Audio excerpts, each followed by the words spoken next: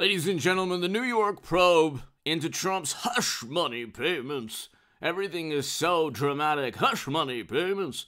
Uh, that's ended. It's pretty much ended. The grand jury is going to be disbanded. It's been canceled, obviously, this past week.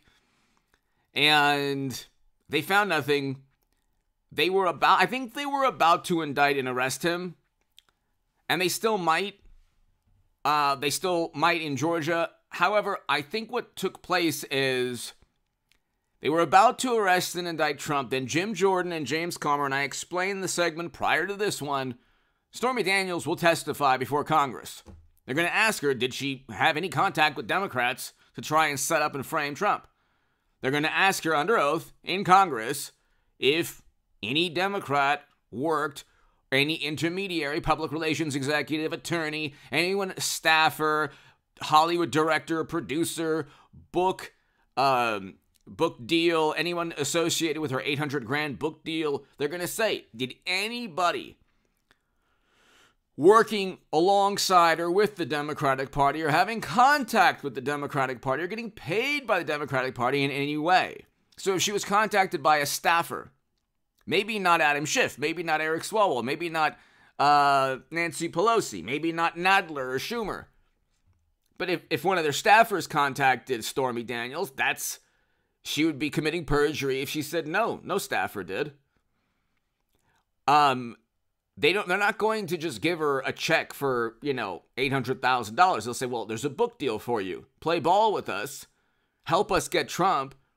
You'll you'll get a book deal." Did any Democrat promise a book deal? Did any Democrat uh, staffer or congressman or congresswoman or anyone at the, at the DNC tell Michael Avenatti when he was speaking at the DNC, by the way, that she would be compensated with a book deal or with a Jimmy Kimmel appearance or whatever. So there are a million questions that the uh, that that James Comer and Jim Jordan can ask um, Stormy via congressional testimony it's obviously not a crime. Like what Hunter, just Hunter's photos. A lot of those photos are crimes, okay? But the laptop, there's criminal activity with financial crimes, but also with other types of crimes. Okay. No indictment yet, but no indictment. They're still looking into it. Hillary had servers running top secret intel outside the US government. No indictment. No reasonable prosecutor. I think Hillary Clinton will be the 24 nominee. I really do. I think that she will she'll be she's like a, a Sherman tank just running through like, you know, a a a house like a like a, a stucco wall, okay? I don't think there's anything stopping Hillary Clinton in 24. I think all of this there's a bigger picture, okay? The bigger picture is that how do we make everything so morally relative that you know what? Independents will will flock to Hillary Clinton in 24. How do we make everything so morally relative? And honestly, if she gets Georgia and Arizona, then she could be president. But nobody believes this or even listens to this. But my point is New York did not invest the Clinton did not, did not investigate maybe for a second the Clinton Foundation. Uranium One, big, huge scandal. Hunter, Joe, those those serious financial crimes there that Chuck uh, Chuck Grassley and others. Oh, classified data siphoned onto Clinton's servers. Nobody knows how that happened. That's a criminal act. It's also a national security issue, major national security issue.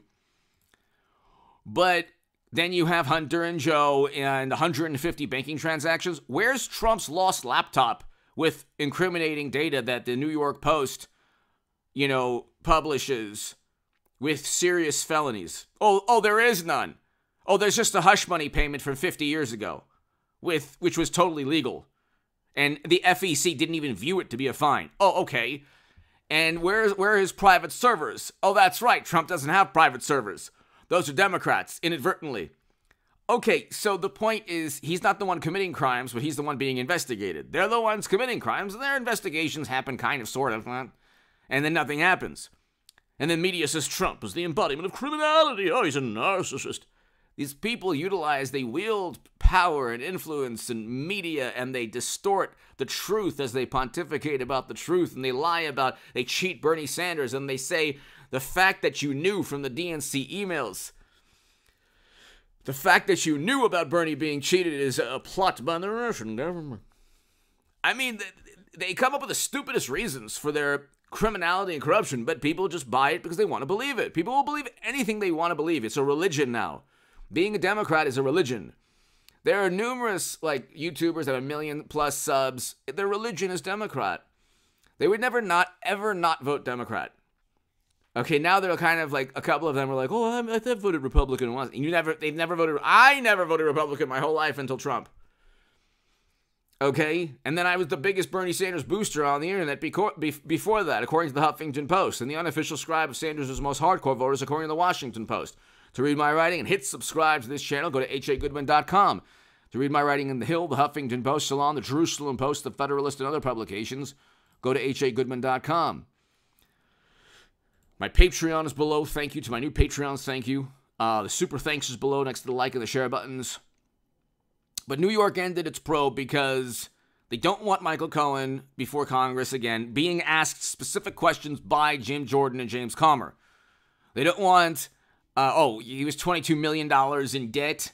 I mean, he was he's a he's a convicted felon, twenty two million dollars in debt, has taxi medallions that went from like a million to two hundred thousand dollars and he was didn't pay millions upon millions in IRS in taxes. So you don't pay millions upon millions in taxes, well then you're going to go to prison. And so and you go after Trump? Oh, okay, you have a motive. Not saying that Trump didn't pay Stormy. He almost certainly had the romantic relationship and paid through Michael Cohen. But Cohen is on record as saying he paid on his own and had nothing to do with Trump. He wrote a letter that the New York Post published. And Stormy denied it numerous times.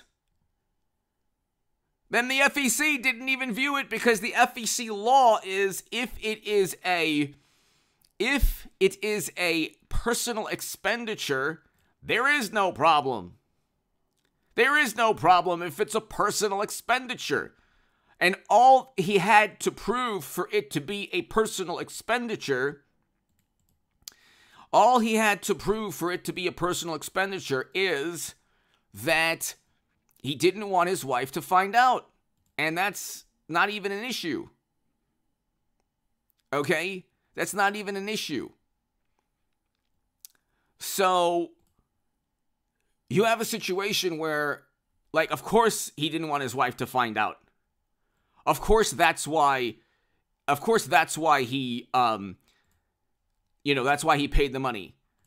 But again, it's not a crime. This isn't like Hunter meeting and getting like giving 10% of all the ill gotten gains to Joe, Joe lying to the American people, New York Post being censored, Hillary with private servers. I mean, Bill Clinton committed perjury. Oh, don't bring me up. Don't use my name in vain. I mean, this is like I, am looking at here all these articles. It's like the obsession with Trump is so unhealthy. It's such an unhealthy, sad, pathetic obsession. We had record low poverty with Trump. We had a record low poverty with Trump.